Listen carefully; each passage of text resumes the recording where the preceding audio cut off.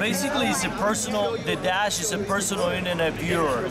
Um, you have your main dash dashboard page. You have a channel that you can place put applications in it. Now, the applications you can have everything that that you need in the morning, like ESPN uh, ticket, so you can actually access all the scores. You can have Gmail. You can have Facebook. You can have the um, traffic information, anything you need in the morning for quick access. Um, videos such as YouTube, you can access Yahoo Video, Blip TV, you can access Amazon on demand. Um, all these videos that again you can you can stream a whole movie in here using Netflix or any of those providers. You also can access your pictures using um, either a Flickr as well. You can click on the actual picture, it becomes a picture frame.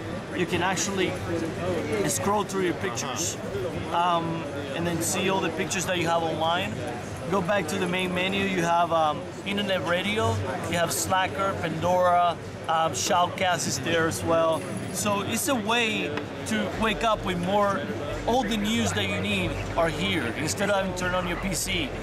Open your web browser for all these news that, that are there and they're instantly. They're instantly. Click on the weather and you get a five-day forecast. So it's a lot of really cool things. Also turn it the other way. You can place it that way and this, video is going to flip uh, 180 degrees. Uh, so this seems like more like an uh, output device, not information input. I can can I put output device. That's, Um, it does have a few things like a Facebook uh, status update. You can see all your friends' updates, and you can actually type. Uh, you can reply to the updates from here. It's about 1,500 applications, and they're all free.